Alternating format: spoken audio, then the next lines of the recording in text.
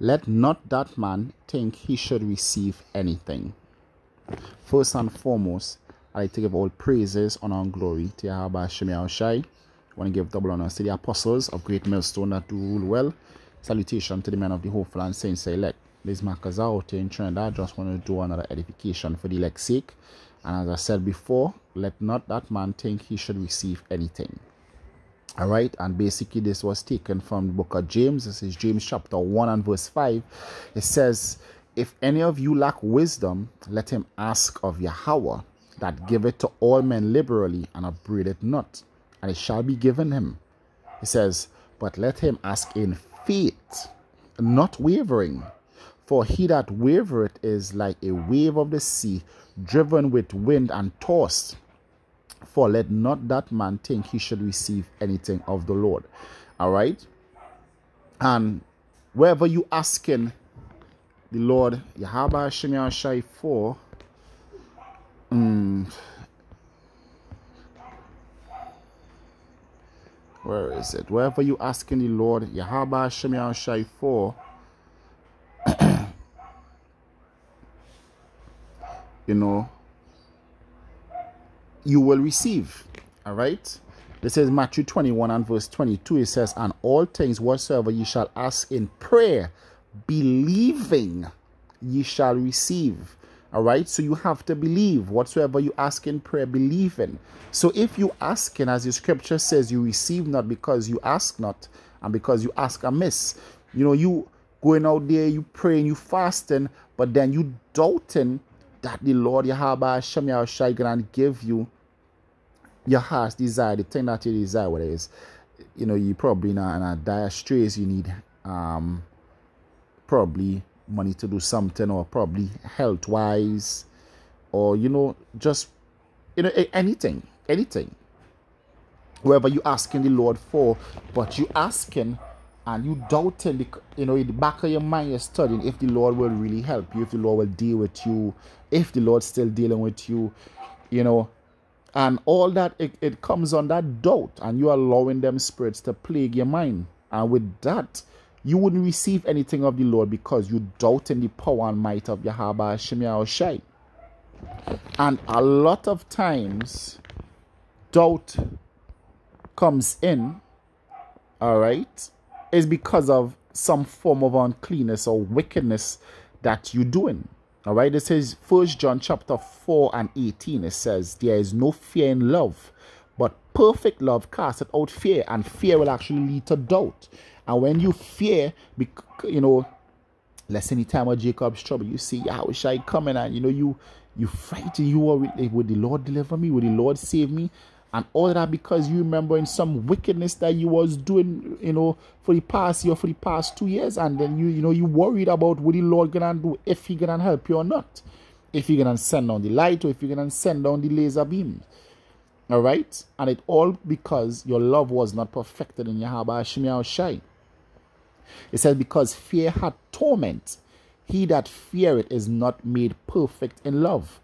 And because you're not made perfect in love, you're gonna start to doubt the power of Yahweh Hashem Shai, and the Lord not gonna answer your prayers. That is why the name of the lesson is let not that man think he should receive anything. Alright, this is first John chapter 3 and verse 20 says, For if our heart condemn us, Yahweh Hashem Shai is greater than our heart and knoweth all things. It says, Beloved, if our heart condemn us not, then we have confidence towards Yahweh. We have that confidence towards Yahweh, which that confidence will fall under the bracket of faith. All right? Doubt falls on the bracket of fear. All right? So if you have confidence in the Lord, you will pray and you will you will receive because you praying and asking in faith, asking and believing that the Lord Yahweh Shemir Shai can grant you your desire, what you're asking him for. But if you doubting, you would not receive. And the greatest thing that you would not receive is the salvation of your soul because you doubting. You doubting the Lord because why? Because you're doing wickedness. All right. So cut off the uncleanness, and that will actually increase. It will, as the scripture says, in corruption, make it us unto Yahweh Shai. So when you cut off incorruption, you would see the Lord coming closer and drawing near unto you, and that will increase your faith and confidence in the Lord. So therefore, when you pray, you would believe. You would believe. All right? So increase your confidence in the Lord Yahweh Shemi Shai. All right? This is the book of Acts, chapter 19. And verse 13, it says, Then certain of the vagabond Jews, exorcists, took upon them to call over them which had evil spirits the name of the Lord Yahweh saying, We adjure you by Yahweh whom Paul preached. So yeah, they know eh, they know that name working. You know the name working, but guess what? you don't have the faith to back it up. Hence the reason they said, whom Paul preached.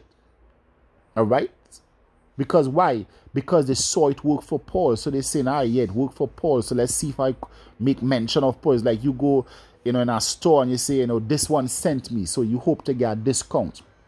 It don't work like that with Yahweh Shemi Shai. If you don't have faith in Yahweh Shemi Shai, guess what? Things ain't gonna go your way. It says, it says, um, and there were seven sons of one Sceva, a Jew, and the chief of the priests, which did so.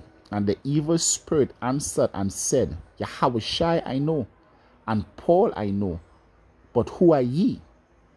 And the man in whom the evil spirit was leaped on them and overcame them and prevailed against them, so that they fled out of the house naked and wounded. All right? Because why? Because there was no faith. The name of Yahweh Shemir Shai is a strong tower, but without faith, it ain't gonna work for you. It's not gonna work for you. You're not gonna receive anything if you have doubt. So you have to believe when you pray, you have to believe. All right, the final precept here. This is Ecclesiasticus chapter 2 and verse 12, it says, Woe unto the fearful hearts and faint hands and the sinner that goeth two ways. You know, that doubtful man. All right, he going two ways.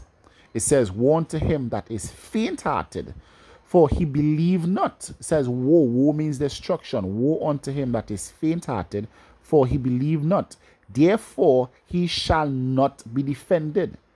So if you if you don't have faith in your Hashem, you're not gonna be defended. And as I said, the greatest time when you would need salvation, when you would need an answering from the Lord Yahweh Hashem Shai is in the days of Jacob's trouble. In the time of trouble, you'll want the Lord Yahweh Hashem Shai to deliver you. And if you pray and you're not believing, let's say you don't have food, you know, you're praying for security, you're praying for water, shelter, clothing, but you doubting if the Lord will answer you, guess what? The Lord ain't gonna hear you. Those prayers not gonna come up. Those prayers not gonna come up. You don't have enough pressure. You know, like like like in a fuel pump, you have the fuel pressure. You don't have the, the required fuel pressure to reach to the heavens.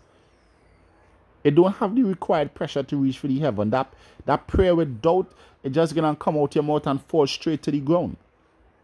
Right? You need to have a faith pressure all right, that faith pressure to send them prayers all the way up. Because if you have that faith pressure, guess what? The Lord Yahweh Hashem Shai not gonna accept them prayers. Your prayer is supposed to come unto the Lord as a as a sweet savor. So if it if it not mixed with faith, guess what? The Lord not receiving that. The Lord not receiving that. It's like you know you're sending a letter. You have to send a letter the proper way. You have to have it in an envelope. You have to have the the, the, the sticker on it. And if it don't have that, guess what? It's not going to be sent. So you say to the Lord, you have to send them prayers the proper way.